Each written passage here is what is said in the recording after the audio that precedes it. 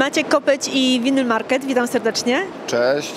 Maciej, pokaż mi tutaj jakieś swoje takie ulubione perełki. Wiem, że tego nie lubisz, ale cię prosiłam o to. Wiesz co, no trochę takich rzeczy tutaj wystawiliśmy na ściance i to, to warto pokazać. To są kolekcjonerskie albo boksy, albo limitowane wydania. A jakieś moje ulubione, no na przykład mógłbym zarekomendować Crash.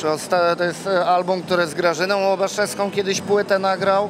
Bardzo ciekawa rzecz. Są to za, zaginione jakieś ich e, nagrania z lat e, 70. E, 77, 78 taki przedział. E, no świetna muzyka dla fanów jazzu, no to, to, to zwłaszcza polskiego jazzu i e, stylu fusion, jazz funk to pozycja obowiązkowa. Także mamy tu kilka kopii, polecamy.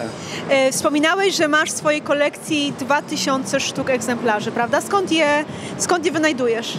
Wiesz co, no to różne były przygody. Były wyjazdy do Utrechtu na największe targi płytowe na, no, na świecie to może nie, ale, ale w Europie na pewno, bo no jest to kilka hal e, wielkości naszych supermarketów, e, które są wypchane płytami.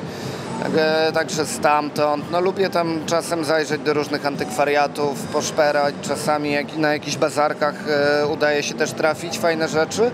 No i oczywiście dużo ciekawych rzeczy wychodzi też z aktualnej dystrybucji. Reedycje, ale, ale bardzo ciekawych rzeczy, tak jak na przykład ten Crash, o którym teraz mówimy. Wspominałeś, że od pół roku masz swój sklep na Pięknej, naprzeciwko ambasady. No tak, tak. To było takie ziszczenie marzeń, bo, bo, bo przez 4 lata organizowałem ty, tylko targi płytowe, e, w tym jedne z największych w Polsce, czyli Record Store Day e, Warsaw od 3 lat.